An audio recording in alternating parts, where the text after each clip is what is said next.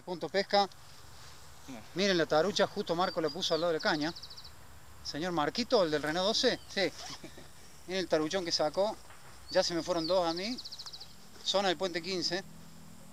Ahí está la con Highlander. Así que ahora vamos a devolverla.